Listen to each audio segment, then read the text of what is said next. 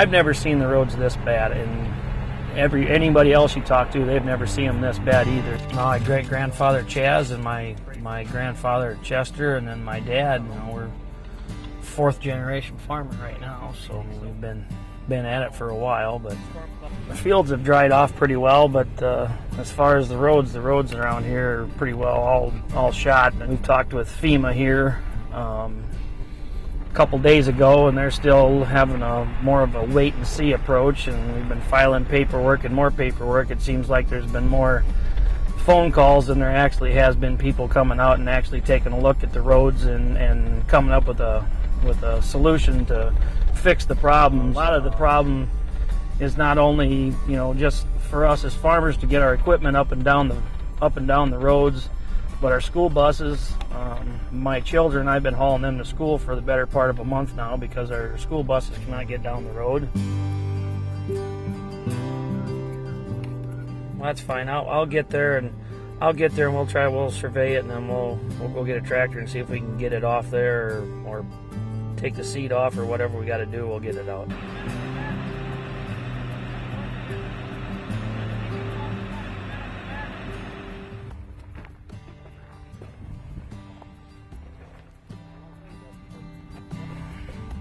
Nothing to it, just soup underneath there.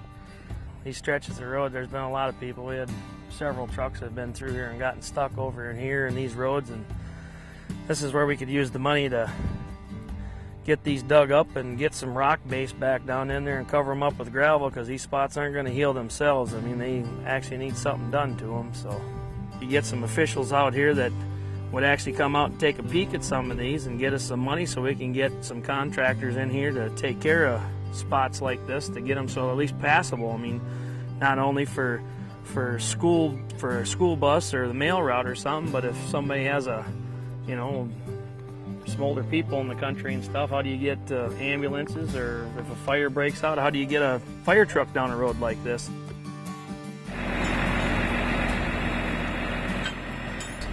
It's just, uh, I think that our total infrastructure has been abused and and and hasn't been uh, uh, taken a good hard look at for so long that that it's at the point now where where it, it needs some money thrown at it to make it to make it uh, uh, viable again. It's definitely costing us money.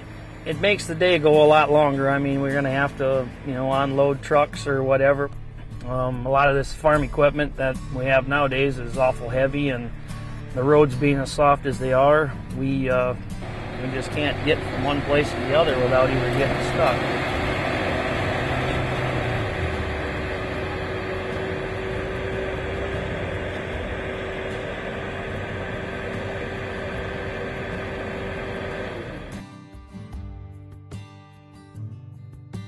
Well, the route there, that was the best of the best, and that one wasn't very good. I mean, every road to the farm here is pretty much in the same position. You, you um, hope for it to get through there, and obviously we didn't quite make it. So, but I guess you got to do what you got to do. That's the way agriculture has always been. Conditions are absolutely the by far the worst, worst I've ever seen them. Probably the worst they've ever been. About like footing. You drive on them and you look out the side when you're driving and you can see everything moving away from the wheels. And a lot of these roads were absolutely not designed for the weight that they're carrying or really designed with a lot of drainage in, in mind.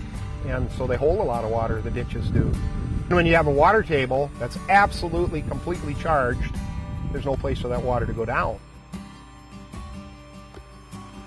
In the end, they, we get it done.